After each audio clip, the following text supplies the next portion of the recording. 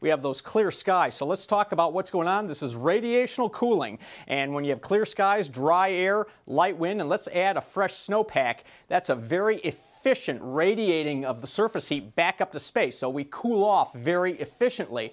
However, when you put a layer of clouds up there, it's like a blanket. The clouds absorb the heat and radiate it back down, and that warms us up. So the whole thing with tonight is timing those clouds. And now that we have some of those real high, thin clouds out there, I just showed you on the satellite, those do not contribute to warming us. We have to get the lower, thicker clouds in here, and that's not going to come in until probably uh, 5, 6, 7 o'clock in the morning. So we're going to see colder temperatures than what I expected earlier on this evening. So here we are again with the clear skies, but the clouds will come in late at night, first thing tomorrow morning, and we're going to be mostly cloudy for the day tomorrow.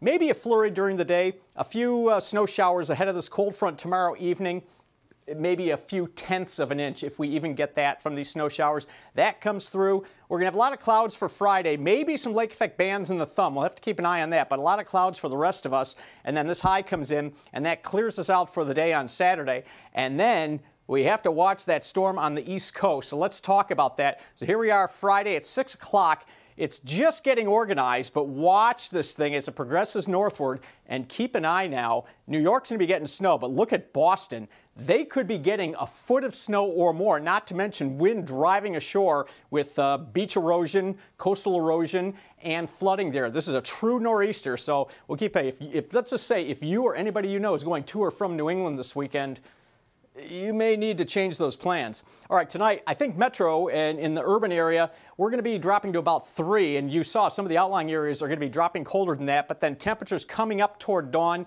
as those thicker clouds come in. So I think we'll probably be about seven uh, for a temperature, but below zero wind chills first thing in the morning, rising to 27, but it's going to be a windy day tomorrow. So wind chills tomorrow afternoon are still going to be in the teens. And then just back to the Arctic air behind that front tomorrow night. Now we start a warming trend, but we have to keep an eye on that Wednesday, Thursday time frame.